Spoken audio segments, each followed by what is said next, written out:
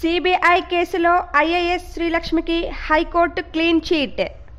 ఏపీలో సీనియర్ ఐఏఎస్గా ఉన్న శ్రీలక్ష్మికి ఇవాళ తెలంగాణ హైకోర్టులో భారీ ఊరట లభించింది.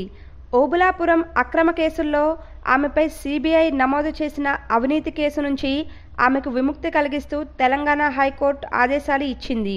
శ్రీలక్ష్మి దాఖలు చేసిన క్వాష్ పిటిషన్పై విచారణ జరిపిన తెలంగాణ హైకోర్టు ఈ మేరకు తీర్పు ఇచ్చింది.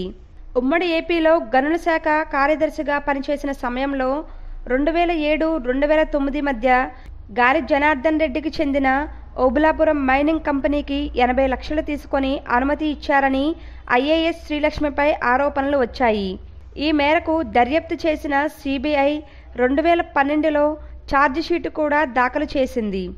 దీనిపై దర్యాప్తు సమయంలో శ్రీలక్ష్మి ఏడాది పాటు జైల్లో కూడా ఉన్నారు. ఆ తర్వాత బెయిల్ లభించింది. అప్పటి నుంచి ఈ కేసు కొట్టేయాలని పోరాడుతున్న శ్రీలక్ష్మికి ఇవాళ ఊరట లభించింది. ఓబులాపురం మైనింగ్ అక్రమ కేసుల్లో సిబిఐ ఛార్జిషీట్ దాఖలాలు చేసిన తర్వాత పలు కీలక పరిణామాలు చోటు చేసుకున్నాయి. ఈ కేసులో ప్రధాన నిందితుడిగా ఉన్న గాలి జనార్దన్ రెడ్డికి బెయిల్ కోసం లంచం ఇచ్చారన్న ఆరోపణలు వచ్చాయి.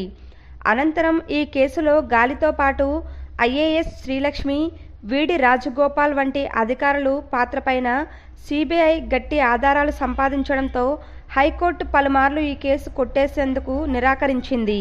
చివరకు ఇప్పుడు శ్రీలక్ష్మికి క్లీన్ చీట్ ఇస్తూ తుది తీర్పు ప్రకటించింది. దీనిపై సిబిఐ సుప్రీంకోర్టులో అప్పీలు చేసే అవకాశాలు కనిపిస్తున్నాయి. ఇప్పటికే గాలి జనార్దన్ రెడ్డి కేసులో సుప్రీంకోర్టులో సిబిఐ పోరాడుతోంది.